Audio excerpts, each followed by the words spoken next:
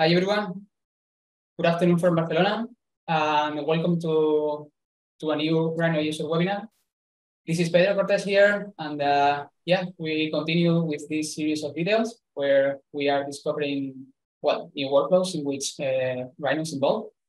Uh, today, Alfredo Chavez will explore how Rhino and Grasshopper can take advantage of uh, Houdini solvers, uh, trying to generate uh, physics-based aggregations of complex uh, models the, uh, the workflow will leverage the ease of modeling in Rhino, the simulation power of Houdini, and the interoperability capabilities of Grasshopper, taking advantage of uh, the best of each uh.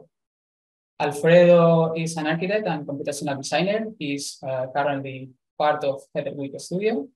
And uh, his approach focuses on blending technologies from different fields and uh, exploring their application to the AEC industry. So I let them uh, start presenting, and I'll be here as always in the shadows collecting uh, questions you might have for, for him in the in the end of the webinar. Okay. So Alfredo, when you want. Yep. Thanks, Pedro, for the intro. Just let me quickly share my screen. Just please let me know if if everyone just can see it. Yeah, sure. Yep. Cool. Okay. So, hi everyone. Um, my name is Alfredo Chavez, as is Pedro uh, just said. Um, I'm an architect uh, by training, computational designer at Heatherwick Studio, uh, where I work across several projects, um, different scales and stages. Um, on top of that, I'm part of the uh, applied research team at the studio, uh, which is called Ge-Code. Um, uh, so today, we, I would like to introduce you some of the workflows that we've been developing on the studio that take advantage of uh, how to use different softwares for the, the, tool for the job, basically, how to use the best tool for the job.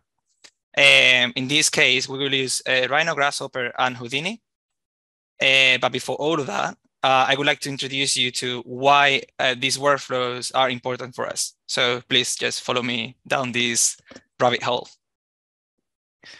So as studio, we have a diverse portfolio, as I mentioned. So we have like different scales of projects, different uh, type typologies, uh, not just architecture. We do vehicles. We do uh, from museums, art, bridges, uh, transport, uh, perfume bottles, uh, kind of all sort of the of design. Uh, we focus in creating human experiences and places that connect people and, and create emotional engagement. Um, so our studio is this that you can see in the image or was this uh, now just moving um, we are 200 people um, and we are totally into anything 3D. Uh, so we always design around like with people in mind and around crafting uh, ideas representing this.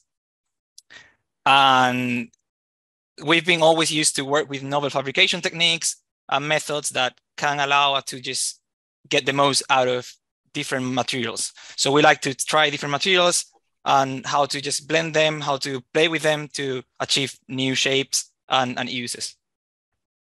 So we develop our own tools, then uh, physically and digitally, um, to develop these kind of novel shapes and, and use of materials. Uh, our models not always can be replicated in real life uh, because the workshop has a specific dimension and scale. So uh, we need to jump into the 3D world and the computer-aided software um, where, where we just need to model things uh, so a way of accurate physics because we don't model just with traditional approach of just modeling. We would like to simulate some physics on our, on our shapes and take advantage of different materials, constraints. Um, so for that, we just use uh, finite element softwares, and we also use some other softwares, as in this case is Houdini, to simulate some sort of behavior, uh, physical behavior on, on the elements. Uh, so one way to overcome the size of our workshop is just to jump into 3D um, and incorporate these 3D tools and elements into our pipeline and our workflows um, to be able to see how things will get manufactured, how which kind of constraints we're playing with, if this is an extrusion through a through a, um, a specific shape, with hole with a specific, a specific shape, uh, how it will react if it's metal, if it's uh, another kind of alloy. Um, so we are really into these kind of things. Uh, we love to just like go from the physical to the digital some most of the time So we can model something 3D, manufacturing to like in the workshop, simulate some things in the workshop, like real life stuff, and then just go back to the computer with those results, either, either if it's like 3D scan or any other technique, and, and just see the results there. So today, the workflow that we're gonna follow is roughly what you can see in the screen at the moment. So we're gonna use Rhino to just model some shapes, uh, some blocks in this case. We're just gonna export them as an OBJ into Houdini, where we will simulate the physics between those and how those collide. Uh, from Houdini, we'll export not just a mesh uh, or a dump geometry.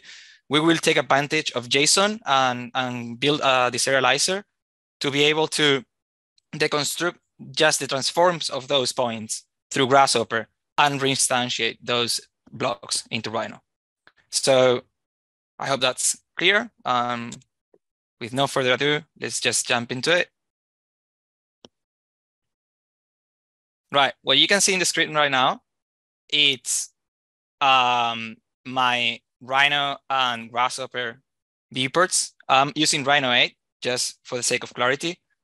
Uh, just because I, I like how they implementing the new blocks natively into it. So I'm not using any third party elements other than this one that it's just like um, um, dot text that we can even script on our own. So we could do everything with vanilla grasshopper components, let's say. Um, let's actually close grasshopper for, this, for the time being. And let's just open the block manager on my file. Uh, well, actually, let's insert a block. It's easier. So you see that we have two different blocks here that I already um, created. So you don't need to worry about just, I don't want to spend time creating like dumb, like easy to, to model uh, shapes. So in this case, let's go with the cross and and I've got my crossing zero zero zero like that. Um, so once I model that, I literally just like export it as a as an OBJ that you just can pick from the list. And once you've got that exported that I already did, you'll be able to see it here that it created an MTL file with materials and it creates a, the OBJ as a mesh, right? So once you've got that, so once you model your shape into Rhino, and now it's time to just jump into Houdini. Um, for those of you that don't know Houdini, Houdini is just like a um, VFX uh, software that was developed by SideFX. And it's got really powerful, it's multi-threaded, which is really important. It's got a really powerful engine uh, to simulate physics and, and well, different other behaviors. And it's used um, mostly in, VF in VFX movies, uh, films, uh, um, TV shows, and so on, uh, advertisement to generate like fluid movements, shapes, crowds, similar to like any other VFX software out there. In this case, I'm using it just to generate the physics simulation that we will bring back into Rhino through Grasshopper. So as you can see, the interface is not too different from, from that in, in Rhino and Grasshopper. So you have a viewport here. You've got like your node graph here, which is similar to what you can see in Grasshopper. But the difference also between this and Grasshopper is that every single node has got a different set of properties and attributes that you can change on the fly. So you see that this node, for example, is just creating a box. Um, but you can see that all these information here just belong to that specific node. So each node is extremely parametric in a way. So each node is extremely uh, versatile and you can just adjust a thousand things. So I'm just gonna run you quickly through what the script does. And then we're just gonna import our geometry from Rhino that we just generated, that block with the cross um, shape. Um, so basically the Houdini, it's in this file, you can see that I've got like a group here that is called collisions. So in this group here, if I just go one by one, I'm basically generating and deforming uh, the different shapes that I will use as a boundary boxes. Same here, same here. And you can see that once I just merge all together, you've got my boundary surfaces plus the floor that we will see later. Right? Then I've got a box that is that one in gray that you can see in the screen that I am basically creating some points to instance my geometry inside of it. And the geometry that I'm instancing is, is this box that I scale and I'll just instance to those positions. So as you can see, it's a little bit different from Grasshopper because Grasshopper's got a logic that goes from left to right, where the Houdini's got a logic that goes from top to bottom. So once we've got that, I'm using a box just for the sake of clarity, but then we will just like using advantage of the procedural workflow, we will change that shape for our shape and it will work. We just need to rerun the simulation and it will work as nicely as with the blocks. So once I've got these blocks here, I assemble them, which is something similar to make them block instances. And I just write some little VEX code, which is like VEX is a code specific to Houdini, but in this case, I'm just doing this to keep track of the name of the of the actual blocks. And then this is where it gets interesting. This node that you guys see that is called DOPNet, that's where the real physics simulation happens. So in this case, if I activate it, you can see how I hover over the, the node and you can see activate this like view, visibility is on. You can bypass the node, which will just basically make the node a pass-through node where it won't affect anything. That's actually a really nice functionality. And this is like a ghosted way to see the node. So once you get in this node, you see all these parameters here that I've got at the bottom. I'm just going to make this a little bit bigger. You see all these parameters here that says simulation, right? So the interesting bit about this DOPNet, which is a like a rigid body simulator, um, a solver, rigid body solver, it's called, is that you can dive in and you can now set see everything that is going on in there. So you see two main this node graph, which can be a little bit confusing if you never worked with Houdini. But just to try to simplify this, I'll, I'll explain in the following way. So you've got all these nodes in the left-hand side, which are all the physics colliders. So those are all the things that are your bounding box, your ground plane, the little sphere, the form sphere that we've got in the center that we can use to just like uh, interest, uh, like uh, collide with. And in your right-hand side, with all this set of nodes, we've got our particles, let's say our, our block instances that are going to be the ones activating, deactivating our rigid bodies. And then we've got our subsolver, which this node, you can even dig into this one as well. And this is basically this, this node is controlling all the spawning of these shapes. So as you can see, once I start simulating, this node will be really important because it will, once you drop all these 50 um, primitives, let's say, it will generate another set of 50 primitives. I keep dropping them on top of each other. I'm just adding then the force here, which is a gravity, and then I'm just merging everything together to get the final output. That is what you can see here.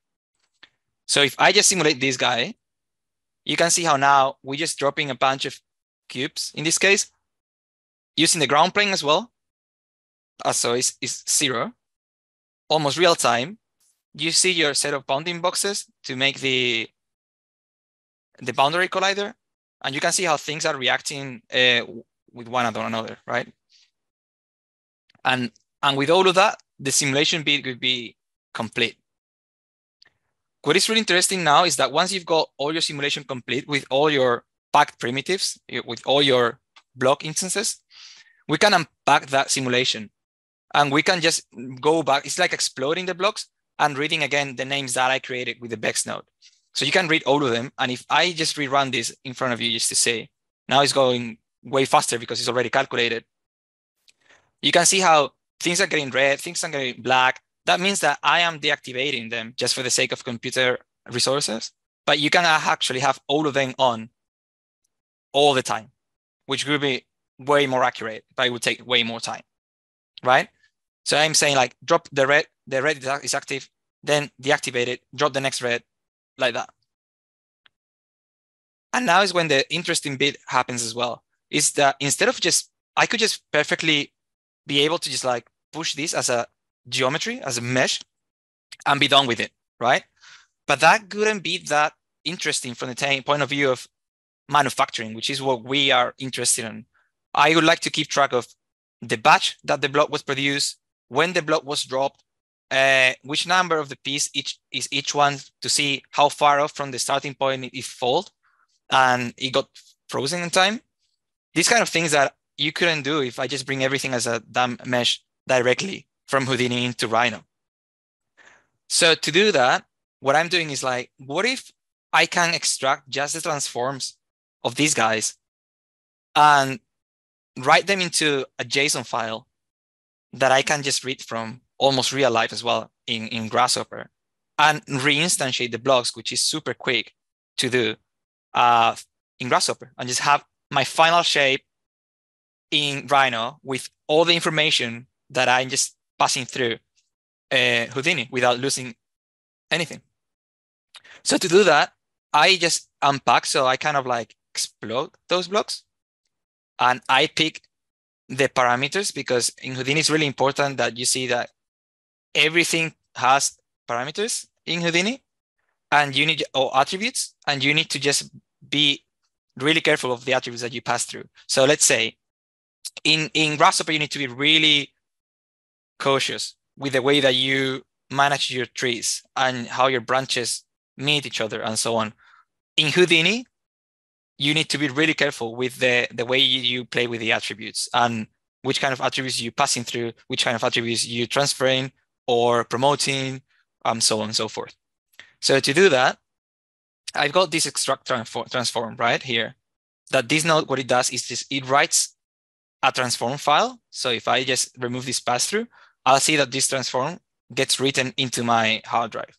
So let's just, I've done that already, but let's just simulate that we are in step 600, let's say, which is this one. And I want to know, I just want to write that file, right? So in that case, your file, let me just get rid of this in Rhino. Your file will look like something like this. You see right now is a little bit messy because you cannot really keep track of what's going on. The JSON is not really, um, it's quite structured, but you need to know what you're looking at, right? So to do that easier, I just went into an online JSON viewer that everyone can go and is, is free to use. So you can just like see what's going on in your JSON. So as you can see, my JSON is got this structure right now. And I'm basically interested on my positions that I'm just writing in the JSON file and my orients, right? Which is basically a transform. Both of them will, will give me the transform of those points. So you can see how here we've got P. P is positions, right? And if I extend this branch called seven, and this branch called five, you'll see that every single instance is got an XYZ. And I'll have one of these guys per every single piece that I simulated. XYZ for all of them, right? And what about the orient? So the orient, if I just search for the name, name is orient, this is a name, name of the piece. That's the orient. So the orient, again, what if we go, sorry, what if we go to seven, which is values, and five? And you'll have a set of four values this time. For those of you that are not familiar with um, game engines, for example, or VFX software, uh, they tend to use not Euclidean rotations, but they tend to use um, oh, Euler rotation, sorry, but they tend to use uh, something called uh, quaternions. And quaternions are like a mathematical representation with four numbers of any rotation in space. Uh, so it's they use that just because it's slightly it's actually more accurate than the XYZ rotations for complex simulations and so on.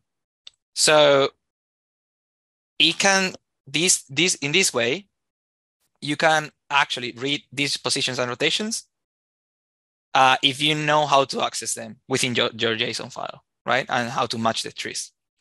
So once we've seen where these things live in the JSON file, you've got this JSON file that was written from Houdini into my whatever location in your computer. And now let's ju jump back into Grasshopper and Rhino. So in Grasshopper and Rhino, I just got this quick definition that I can share with all of you at the end of the sessions. I think Pedro is, is gonna send all of you and or you can send an email or we can set up a drive.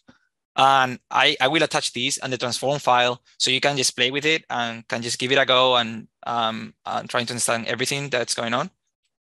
Uh, but mainly what I'm gonna do is like I'm using Rhino 8 right now, as I mentioned, just for this mainly for these two blocks, uh, for the two components, which are like the block instances components. And because this node is way nicer. If you guys use Rhino 7 or Python, you realize how kind of like the interface is quite clunky in the Python node or the C sharp node, the basic ones. But now for for the interface of Python 3 of the new code editor, they actually improve it quite a lot. Um, so I'm gonna go through these like in both ways. I'm just gonna use the C sharp node. And I'm just gonna also use the, let me just bring it from the other screen. I'm gonna also just show you how to use the old Python reading your code from Visual uh, Studio Code. So in this component here in, in, in Python, it's got two inputs, as you can see. One is the file path, which is the, uh, the JSON file that we just created through Houdini. And one is the attribute name, which is the is asking us for the name of the attributes that we want to read from. We want to read the attribute orient and the attribute P, as I mentioned before. So if I go here, you see that the attribute attribute P is the name of that attribute, X, Y, Z. And the attribute orient is the other one that we are interested in. You need to match like capital letters and so on just to for it to be able to work. So you see orient is all lowercase and P is uppercase. So what's going on inside this node? I explained it to you, I think, from Visual Studio, just because of the coloring. Um, and I can have it like full screen. And I've got it open here. So what's going on into Visual Studio, uh, into that Python node, is I created basically a deserializer of JSON specific for that, for this workflow. So that means I try to use um, JSON from Andrew Heumann as well, but uh, it doesn't, the hierarchy of the JSON is too complex and it just basically wasn't giving me the desired results. So I ended up writing my own deserializer for JSON, specifically for this, to read the point attributes from a JSON file generated on Houdini, which was a really specific, as you saw, a really specific way to write these, these JSON files. So how, how do we do that? So I basically in this file, I'm just gonna quickly run through the main blocks of it. And I'm gonna also attach this file to the final uh, email that Pedro is gonna send in like 20, 30 minutes when we finish the session uh, after the round of questions. And so you can just look at it like properly, take some time, just read it through it, understand everything that's going on. So uh, basically what I'm doing is I'm creating, first of all, uh, a class to represent geometric data. If you are familiar with bringing geometry from Houdini to Rhino already, you can understand some of the nomenclature that I'm using here just because there's a plugin also you can use that is called HO. Or yeah, I think it's called HO, like hey, Houdini GH. HO GH. Uh, that basically I, I follow the same naming conventions as they use uh, for the sake of clarity as well. Um, but I readapt all my code to be way simpler as well. So I, I do everything, all the serializing process in 113 lines of code. And it can be even further simplified, to be honest. So I'm defining a class called a main class to hold the geometric data of the actual geometry that's coming from, from Houdini. And I'm basically mainly interested on the list of point attributes, right? So once you load the that class, you have a function called load JSON that it will just basically read all your JSON file. And it will convert it to uh, a dictionary as well, to so, so we can sort by value and keys. And we load the attributes and generate the data. That means load attributes is here and gen data is here. So I'm just basically calling these two other functions from within this one.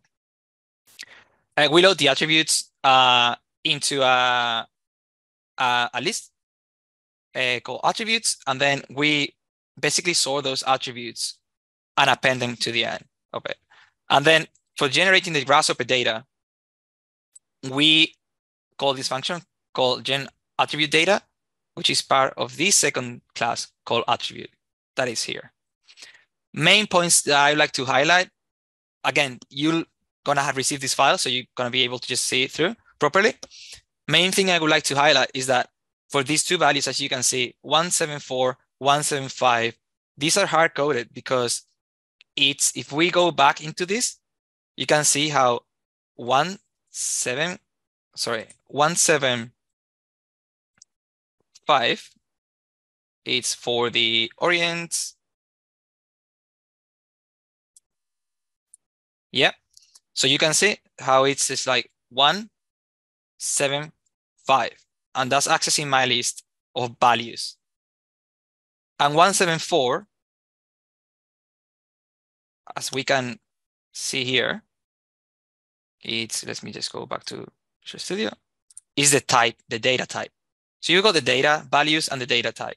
So if I go just go back to my JSON, four is tuples, it's one, seven, uh, yes, tuples, and then you've got values in 175. Basically, that's that's how I am hard coding hard coding those two specific locations within my JSON to read values and types from. I am also separating them by numeric values and string values uh, because they have different structures within the JSON. And then at the end, I'm just generating all the Grasshopper data following the Grasshopper data tree logic that you can just use from, from the kernel data and Grasshopper. You can actually access and just manage your trees from within Python. And you can just basically set up your list of lists into data trees properly and cleanly from within Python. Um, so basically, this is actually what's going on after we just get rid of all the classes and so on that we just, let's say that we take them from, from granted. You basically are reading a, a file path that we just giving, which is the, the location of the JSON file. We're loading the JSON file, creating our class hhgeo, uh, loading the JSON from hhgeo. So it's the function that I was explaining at the beginning. And then just writing all the attributes into its point attribute list kind of um, like into its uh, main value holder, its container. This, so for example, for the ads, and then for, for ads attributing attributes, if the attribute name is equal to the attribute name, so it's for example, if that attribute name is equal to whatever is coming from this input, then generate the grasshopper data right? I think it may seem a little bit convoluted right now, but it will make sense uh, once you receive the file and you have the time just to go through it properly. And this is basically what I'm getting. I'm getting a list of four of seven values. So four of them belong to the orient and three belongs to the positions. So you have orient one, orient two, orient three, orient four, or quaternion one, quaternion two, quaternion three, quaternion four, and then you've got X, Y, Z, right? So what I'm doing here is just I've got a list item component that I just basically explode their outputs. And I'm connecting them to quaternion one, two, three, four, X, Y, Z into my C sharp node. And this C sharp node will be pretty straightforward to explain. The C sharp node basically creates a quaternion from, from those input values. As you can see, Q1 and Q4 are swapped. So it's Q4, Q1, Q2, Q3. And this is mainly because all the VFX software, or at least Houdini, same as Blender as well, they use Y up axis, whether Rhino uses Z up axis. And this affects the quaternion display that we're just trying to replicate in here. So for us to have the exact matching view in Rhino and Houdini, that's why I'm basically tweaking that. Then I'm just getting constructing a plane and and saying basically if if there's actually a quaternion, just generate a plane, um, ex extract that into that basically into that plane, Uh, and then I'm setting the base point of the element uh, exactly in the right location with X, Y, Z, and just setting those plane origins into those positions. So you have the plane oriented properly in the right position as well. And then at the end, I'm just basically performing a general rotation. So everything that is standing in your Z Y axis kind of like rotates into your Z axis. And that's basically it for the C sharp node. And after that, I'm just basically fetching those into the new uh, block instance component. I'm just checking that the block instance is in the cube. So if I actually select this guy, what I'm just simply doing is just picking out the box instead of the cross. Uh, if I just go into one, you see how that's the cross. So it, and the, the position and the value of the instance change to the new different block. And I'm basically coloring everything using this color. But up to this point, you cannot see any advantage of following this workflow versus following a workflow in which you keep track of every single element. But what if I just want to read also the name? Uh, in this case, I'm using a different approach. It's the same code, exactly the same code as I've written in, in here. But this is actually reading. If you create a Python node, in case that you didn't know this, and you go like show, uh, uh, uh, it's got something like show code input parameter. You can actually read the total file from your desktop, plug it in, and this node will just read the code from that file. So you can just write your code in Visual Studio Code right now and just, just plugging it in into your Python node. So if I open this node, you will basically see the node is basically fetching all the data from synchro, synchronize all the data from the file in my desktop. And I'm just reading the name attribute this time. What's coming out of there? So that's interesting because it's I've got uh, the name of every single piece by batch. So you can see the batch is like the first number, zero, one, two, three. And then you have the piece number of every single piece that was generated in that batch. And what if I wanna color the batches, color the pieces by batch? There we go. So you can see that the black batch, the black pieces are the ones that were generated first. Then it turned into red, batch number two. Then it turned into white, into yellow, batch number three, and then it turns to white, batch number four. And what if I can go the extra step and generate the annotation for it? So you can also annotate the every single piece basically. So if I switch this guy off, you see that I've got a three-dimensional annotation map of every single piece in every single location once it's aggregated. Right, that's actually really cool in terms of manufacturing as well, in terms of how, when, and and to drop the piece, uh, how, what process to follow. Maybe this is not the best approach. Maybe we need to just change it and drop it from a different location. Right, so I think this is actually part of the workflow I want to show you today. Uh, we can go back into any of the related questions on, on the Visual Studio Code or the Houdini side of things.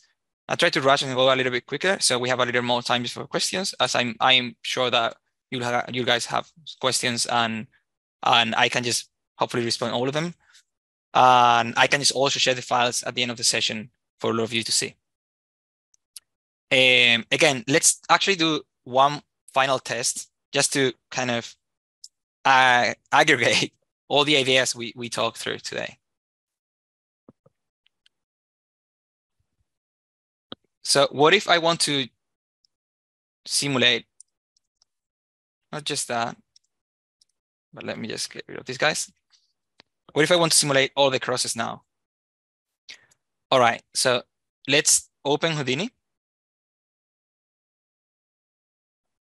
And let's plug our pieces exported as OBJ instead of our blocks. And let's recompute.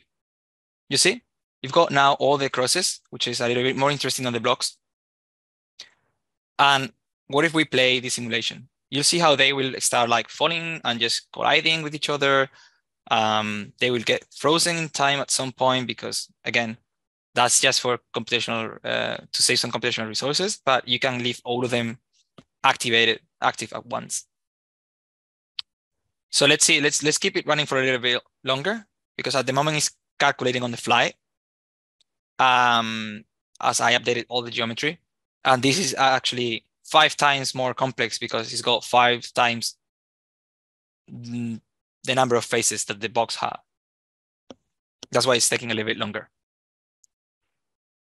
So if you can see now, I think we can just, let's, let's leave it running till the 600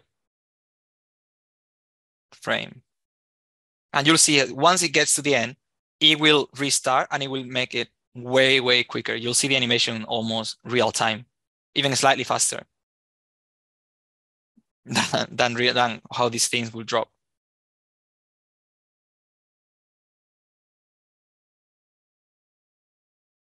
Right, so there you go. You can see now how things are like clashing and just colliding and just falling in place. And what if we just like, let's stop the simulation, go to frame 600, and let's, let's actually, let me close my transform JSON here. And let me close my Houdini here and Visual Studio altogether. And let's activate this guy and see what's going on. So now you can just see how my transform file has been written with today's right now, basically today's date and, and right now. And now we can just go back into Grasshopper. And we can you can see how you can see already how this is being updated.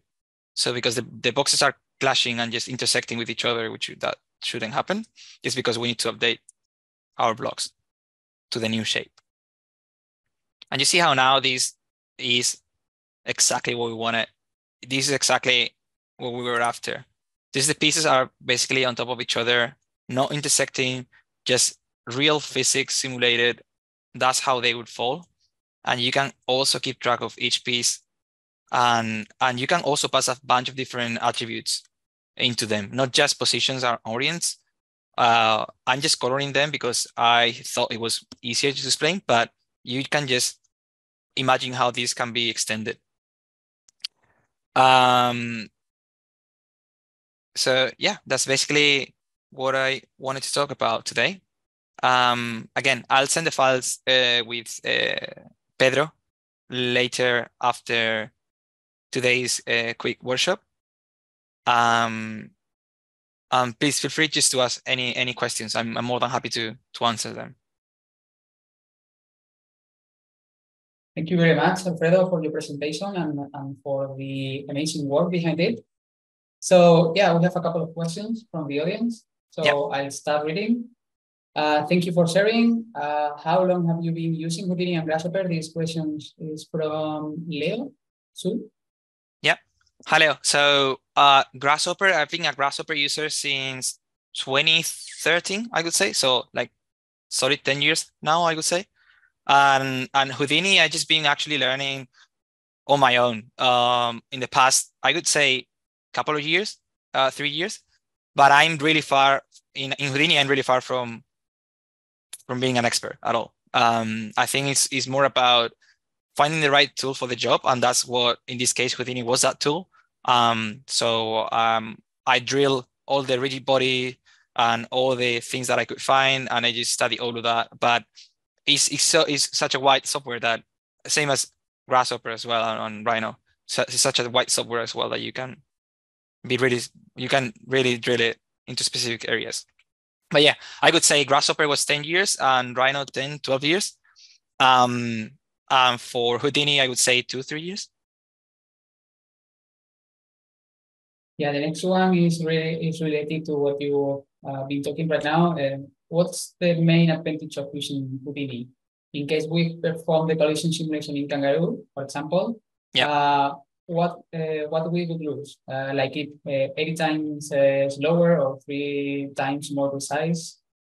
Yeah, that's actually a really good question. I at the beginning we tried to uh, live within Rhino because Rhino is our main tool in the studio, and and we were comfortable with it, and Grasshopper. But then we found that Kangaroo is not just for the speed. Speed wise, Houdini is multi-threaded, so it's, it's definitely going to be way faster. uh, but for this kind of simulations. But it wasn't just that. It's about, let me actually just bring out Houdini quickly. Bypass this node again. And let me just go to the section where I simulate these guys. We found it really difficult, for example, to simulate bodies like, like these ones uh, accurately. Because these, these are concave geometries that if you want to generate physics simulation of concave, concave geometries, uh, Kangaroo doesn't allow you. It, Kangaroo uses a method called convex hull, uh, which is this guy here. That in convex hull, in, it creates in in Kangaroo, it creates some kind of a uh, convex approximation, so some kind of like pyramid. So it could be if I change this guy to more like that. This, by the way, this this thing that you're seeing in blue right now is the is the collider geometry. So it's not the actual geometry, it's just what Houdini is interpreting as the colliding shape. So if you have concave shapes intersecting with each other, uh, you cannot simulate that accurately in Kangaroo. Kangaroo is really good if you have something like spheres colliding, you know? Or it, it could be like faster in Houdini to simulate, but you can simulate that accurately, let's say in Kangaroo. But in, Houdini allows you to just like go beyond that and have concave shapes. Uh, and in this case, it was really important um, for us um, to be accurate in terms of how our physics and how our colliders were uh, created. Really powerful.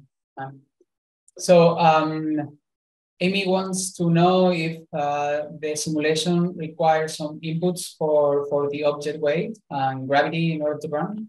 Yeah, yeah, indeed. It just uh, your body solver basically takes care of like tolerance. Uh, basically, this solver is actually simulating a, a bullet. It's called the bullet solver. Um, so it actually can, you can input different um, physics constraints and different like gravity and forces. That, the same as you can actually you can use your gravity as you can see is 9.8 uh, which is real world gravity, but you can crank that up. You can you can you can play with the physics values of each material if that's the question. Yes, and with the elasticity of if you're simulating a cloth, you can uh, you will use a different node, which is a Vellum, for example, Vellum simulate uh, Vellum solver, and that will require you to just uh, give inputs as elasticity, uh, how how bouncy, bouncy it is. Same in here, how bouncy the rigid body is, and so on. They are all different parameters that you can actually uh, input and just play with.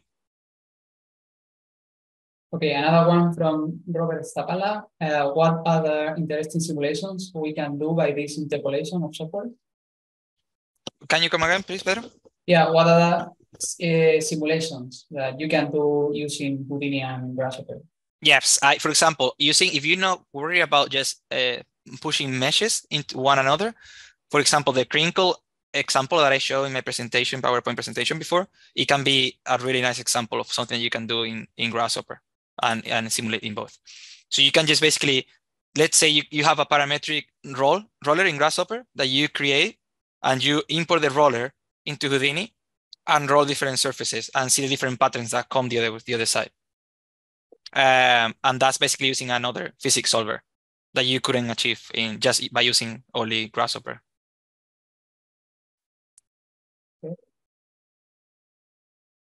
So do you have any resources that saw use cases in architecture? Use cases as in uh, re learning resources or use cases in architecture of Houdini? Uh, both, I think.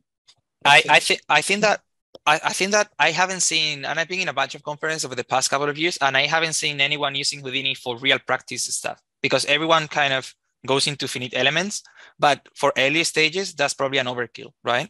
So we love to to use this kind of of like blending this kind of technologies from different fields uh to to be able to just design. We mostly a design led practice so it's also really good to have designer friendly tools that don't require you to jump right into the finite element sim simulation or engineering um, software and can give you really quick and interactive um, simulations that you can just connect with your main CAD software, which in this case is Rhino.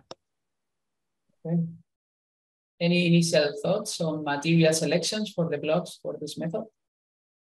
Uh, for material selection for, for the blocks of this method, I think we were using uh, laser cut um, MDF uh, in the in the workshop, and we use also 3D printed rubber, uh, like the the PLA that is uh, is flexible. We use that one as well. So I think it's kind of like ma mainly I would say that I've seen it tested with MDF most of the time with these cruciform shapes and with more complex shapes as well. Um, so because it's the it's the quickest to prototype, I would say. Because 3D printing takes a lot of time. Um, and maybe it's easy something that you can assemble together on site. And if you actually see the ICD pavilion that they it's called ICD aggregation pavilion, I think, if I'm not mistaken, that they did a few years ago. They used finite elements to calculate that one and it was an installation and we used Deus robots to, to drop the actual pieces that were made out of plastic, if I'm not wrong. And they, um, which is funny, is that we got extremely similar results to what they were doing with finite element systems just by simulating it in, in Houdini, which was like something that was really unexpected from unexpected from us.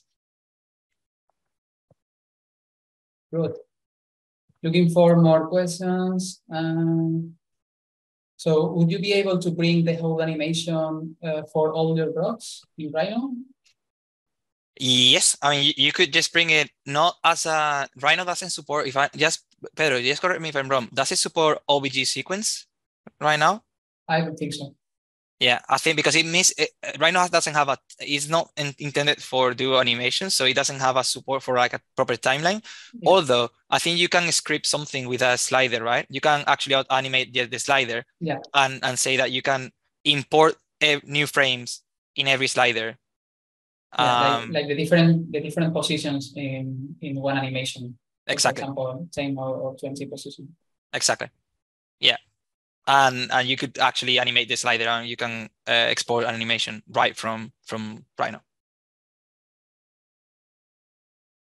Okay, did you look at uh, FlexHopper to run the simulation? If yes, no. why did you decide against using it? Okay, mm. no. Actually, that's a really good one. I'll I'll take note of that one. Okay, FlexHopper. Thanks, Raul Das. And uh, well, I think this is all for today. Any more questions? We have like 10, 10 more minutes. Yes, Amy wants to know if uh, can if you can reorient your location in the simulation space. Can a camera perspective be set? A camera perspective, just bringing it from Houdini into into Rhino. So can you reorient your location in the simulation space? in the simulation space. Uh, or is this a question about the y and z axis? I'm not sure about that the question right now. It's like z, yeah. you could just reorient, and I think you can set up uh, Houdini actually to reorient the x and um, the, the y and z. Mm. Yeah, you could do that. And in terms of exporting a camera from Houdini into Rhino, I actually didn't try, but I'm sure that you can just export camera and parameters of the camera into a JSON file as well. And you can probably, by scripting it, you can just regenerate a camera, a Rhino camera. Good that views match? I am not 100% sure. So has, has Houdini an, an open uh, API? Has what? An API. Houdini? Yeah. No, that I am aware they don't.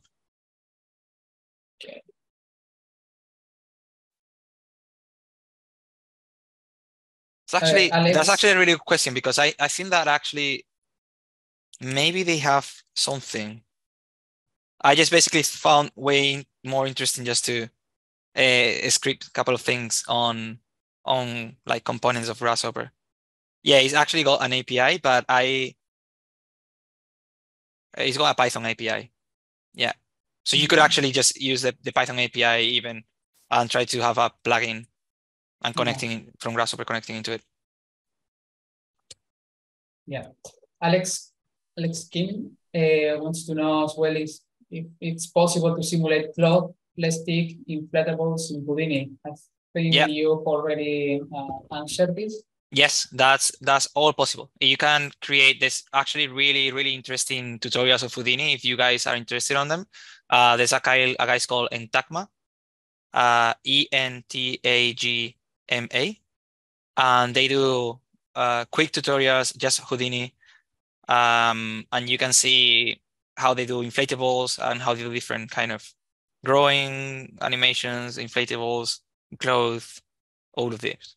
Um, so yeah, it's more interesting about how you could use the the output or the outcomes of those into Rhino in this case, right? How would you just push that into Rhino? Is it gonna be like just as a mesh, or or you're gonna basically send some constraints from Rhino as, a, for example, some kind of uh, window, and is you model in Rhino in your building, and you send it to Houdini, you simulate the curtain or some strings or something, and just like how you're gonna bring it back just as a mesh. Is that good enough? Or maybe because I, I don't know if there's a way that you can export a cloth simulation back into Rhino without being a mesh. Maybe you need to reconstruct and rebuild um, your geometry through Grasshopper.